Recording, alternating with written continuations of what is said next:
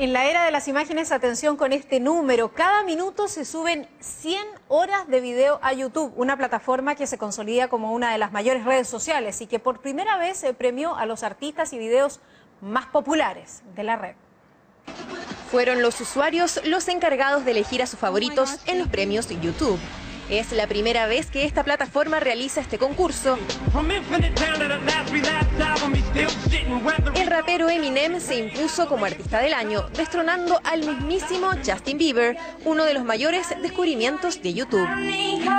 La rubia del country Taylor Swift se llevó el reconocimiento de fenómeno YouTube por su éxito I Knew You Were Trouble.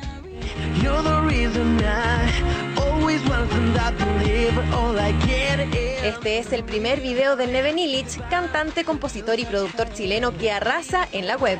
Solo un año después de ser lanzado, el clip cuenta con 90.000 visitas en YouTube, la plataforma por excelencia de los artistas emergentes. Basta que alguien te vea y que crea en ti y que le guste tu trabajo para que te siga.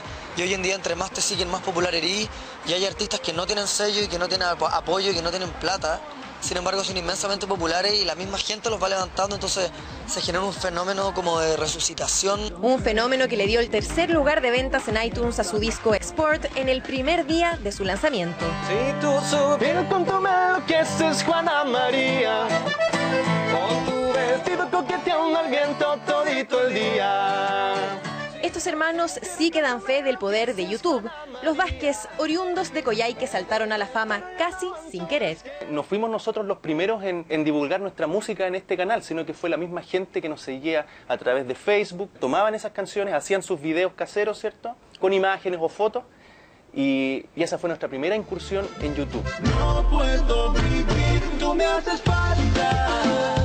Y su primer video, Tú me hace falta, tiene más de 3 millones de reproducciones, un éxito que los Vázquez han sabido aprovechar para dar a conocer las 16 canciones de su primer disco. Ya no somos sencillamente una plataforma donde se comparten eh, videos virales o circunstanciales, hoy en día somos un, un lugar donde los artistas parten, donde comienzan sus carreras. Es el éxito del gigante YouTube, una vitrina para artistas emergentes y que consagra a las grandes estrellas de la música, una demostración más del poder de las redes sociales.